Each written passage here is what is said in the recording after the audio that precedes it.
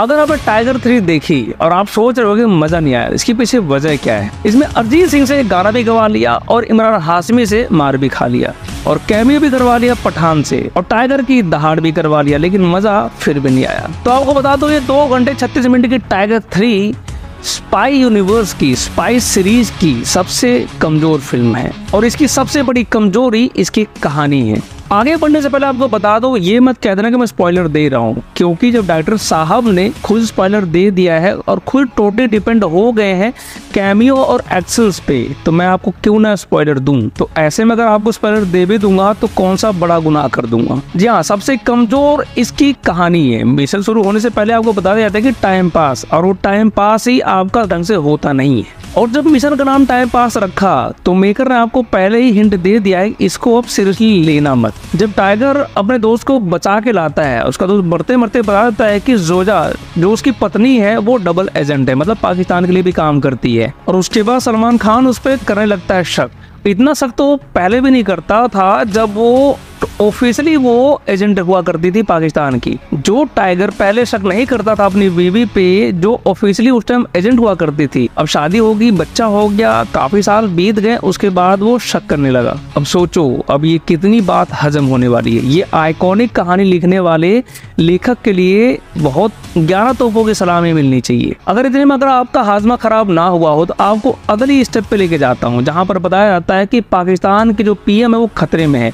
वहाँ की जो आर्मी है और जो और भी उनको पॉलिटिशियंस है, वो तख्ता पलट करना चाहते हैं। रीजंस ये है कि वो प्राइम मिनिस्टर दोस्ती चाहती हैं भारत से और अमन पीस चाहती हैं। लेकिन वहाँ की आर्मी और कुछ पॉलिटिशियन नहीं चाहते, जिसमें से सबसे प्रोमिनेंट नाम होता है ex I S I deputy director Atish Rahman का। अब जो टाइगर की पत्नी वो कठपुतली बन जाती है आतिश रहमान की। उसके लिए काम करने लग जाती है। अब सोचो कि मतलब कि कितना ब्लंडर करते जा रहे हैं कहानी में ये। कि जो जोया ने त्याग कर दिया था अपने देश को, अपने उस एजेंसी को और अपने उस कैरियर को, फिर से वही जोया पाकिस्तान के लिए काम करने लग जाती है। और वो जोया होती है एक रॉ एजेंट की वाइफ सोचो, कितनी हजम होने वाली बात है ये। अब तीसरे स्टेप पे आ जाओ। हाजमा और खराब करता हूँ आपका।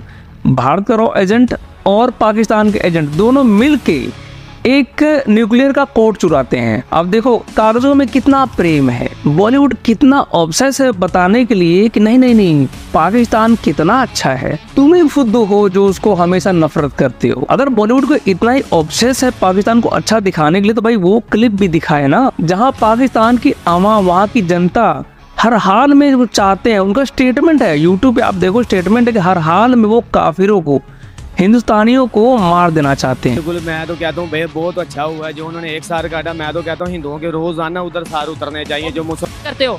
मदरसे में हिफज करते हैं। मदरसे में हिफज करके इंडिया का मुल्क या इंडिया के लोग आपको कैसे लगते हैं? इंडिया के लोग तो हमें बिल्कुल अच्छे नहीं लगते क्योंकि लेकिन प्रेम बहुत है और वो प्रेम बस बॉलीवुड देख पाता है। अब चौथे स्टेप पे आ जाओ जहाँ पर सलमान खान का करेक्टर टाइगर और कैटरीना कैफ का करेक्टर जोया दोनों मिल के वहाँ के पीएम को बचाते हैं, उनकी ही आर्मी से। और इतना ही नहीं, स्टोरी को बचाने के लिए कहानी में कुछ और हाजमोला दिया गया है। वो हाजमोला ये है कि पाकिस्तान के बच्चों से, वहाँ के प्राइम मिनिस्टर से भारत का राष्ट्रगान गवा दिया जाता है। ताकि लगे ओ हो हो देखो, पाकिस्तानी तो हमारे राष्ट्रगान, हमारे एंथम तक गाते हैं। वो पल सुनते हुए, शरीर रोंगते खड़े तो होते हैं, लेकिन सर के बाल भी खड़े हो जाते हैं कि ये क्या फुद्दूपंथी चल रही है। फिर याद कि नहीं, ये बॉलीवुड की फ़िल्म है, और ऐसा सीन तो आपको हर बॉलीवुड की फ़िल्मों में देखने को मिलेगा। और यही सब देखते हुए एक बात ध्यान में आ रही थी, अगर जिन्ना, अगर ज़िंदा नहीं होता तो बॉलीवुड भी आज नहीं होता। इसकी वजह ये है कि उसने पाकिस्तान बनाया तो बॉलीवुड को बराबर के कंटेंट मिला जो आज वो फ़िल्में बना पा रहे हैं। अगर पाकिस्तान ना होता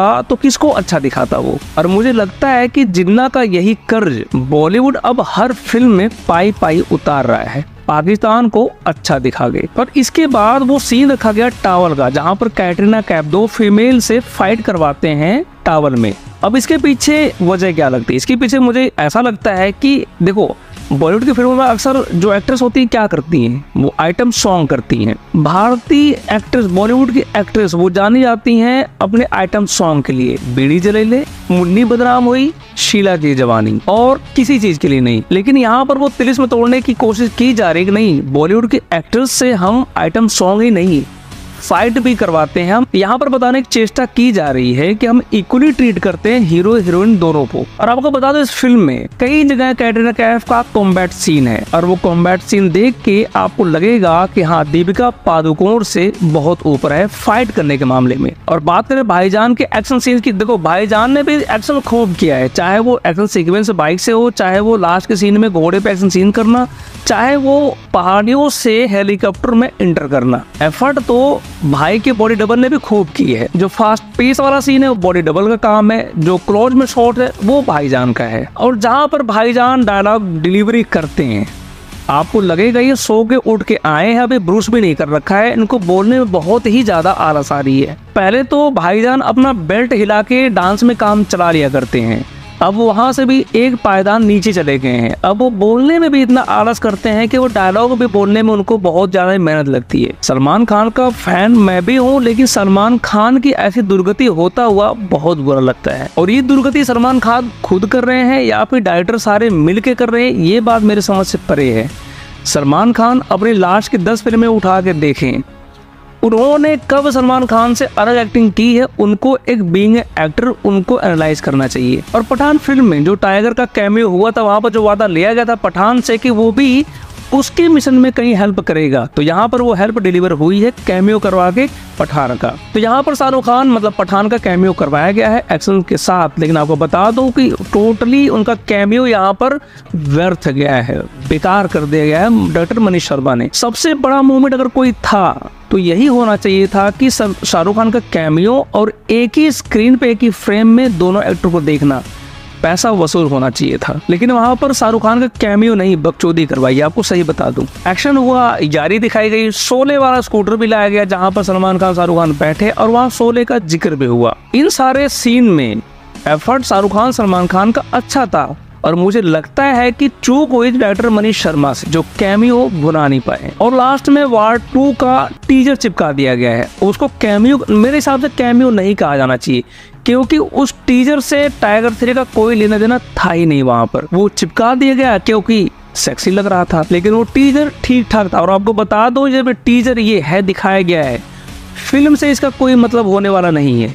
ये टीजर बस आपको बताया गया है कि हाँ वार टू का काम शुरू हो चुका है। तो ये सारे पहलू थे जो फ़िल्म ख़त्म भी हो गई, मज़ा भी नहीं आया। वजह यही है कि टाइगर सीरीज़ की सबसे कमज़ोर फ़िल्म थी और साथ में सबसे वाहियात कहानी थी, जहाँ पर टाइगर थ्री को मिशन के नाम पे पाकिस्तान को अच्छा दिखाने का मिशन मिला हुआ था। और वो मिशन में कामयाब तो बिल्कुल नहीं हुए, क्योंकि हिंदुस्तान की आवाम तो अच्छी तरह जानती है कि पाकिस्तान के लोग, पाकिस्तान की आवाम, पाकिस्तान के प्राइम मिनिस्टर पाकिस्तान की आर्मी हिंदुस्तान के लिए क्या सोचती है। पाकिस्तान, इस फ़िल्म में दिखाया जाता है घड़ी घड़ी की पाकिस्तान शांति चाहता है। और रियल लाइफ में हर दूसरे दिन सीज फायर वो ब्रेक करते हैं। और ये फ़िल्म देख के मुझे एक बात समझ नहीं आती कि बॉलीवुड ने ऐसा क्या कर्जा ले रखा है पाकिस्तान से कि हर फ़िल्म में उनके एजेंडे पे फ़िल्म बनानी पड़ रही है। अगर ऐसा ही चलता रहा स्पाई यूनिवर्स की ये सीरीजें चलती रही, इसी कंटेंट पे, इसी धर्रे पे तो आपको बता दूँ, अगले कुछ सालों में एक भी ऑडियंस नहीं मिलने वाली। मिलेंगे तो बस वही छपरी फ़ैन जो सलमान खान, शाहरुख खान के फ़ैन है, जिनको किसी चीज़ से मतलब नहीं है मतलब है तो स्क्रीन पे उनके खुदा नाचते हुए, चाहे वो पठान, चाहे वो टाइगर। तो दोस्तों, ये मेरा छोटा सा वीडियो आपको लगा कैसा बताओ कमेंट बॉक्स में। मिलते हैं फिर किसी वीडियो में। तो नमस्कार, जय हिंद, वंदे मातरम।